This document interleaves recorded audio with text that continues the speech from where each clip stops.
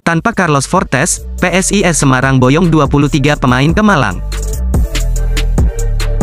Tim pelatih PSIS Semarang boyong 23 pemain ke Malang untuk beruji coba dengan Arema. Dalam rombongan tidak ada mantan penyerang Arema, Carlos Fortes yang kini membela tim Mahesa Jenar. Kabarnya, Fortes belum bergabung dengan skuad PSIS yang juga baru menggelar sesi latihan seminggu terakhir. Pemain berusia 27 tahun itu masih berada di kampung halamannya, Portugal menikmati libur kompetisi. Selain Fortes, tak ada nama penyerang sayap asal Jepang, Taisei Marukawa. Dua pemain asing PSIS lainnya, Ali Sesai dan Jonathan Cantilana juga belum gabung latihan.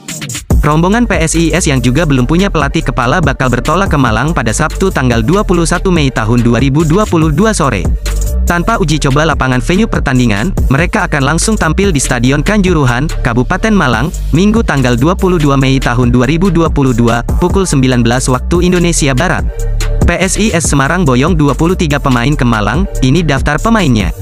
Redondo, Fajar Setia, Taufik, Dale Akbar, Rio, Aksa, Shiha, Wahyu Prasetyo, Rian, Fredian, Eka Febri, Guntur Triaji, Damas, Rido, Reza Irfan, Jori, Octavianus, Andreas Ado, Harinur, Farel Arya, Bahril, Komarudin dan terakhir Edo.